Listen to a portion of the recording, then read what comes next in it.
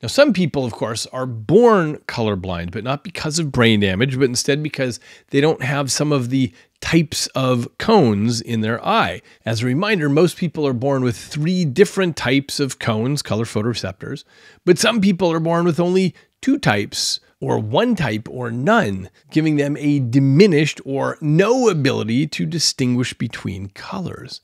Now, the military excludes colorblind soldiers from certain jobs but they have come to realize that colorblind people do have a secret superpower.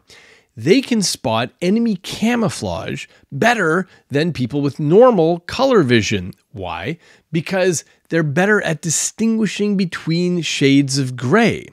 This is because they have the same amount of visual cortex at the back of their brain, but fewer color dimensions to worry about. So they're using the same cortical territory, but for a simpler task, just grayscale instead of color. And this gives them improved performance in distinguishing very subtle differences in brightness. So although it would be a real bummer to be colorblind, there are some advantages as well. So now let's return to color. Everything we've talked about so far is a reminder that color is not just about the electromagnetic radiation hitting the eye, but about what happens in the brain. And one very good example of that is something I've talked about before synesthesia.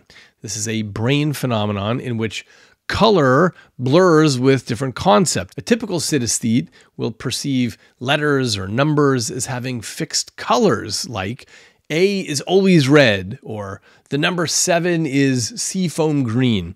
And it can commonly be with weekdays or months, like Wednesday is indigo blue, or August is yellow.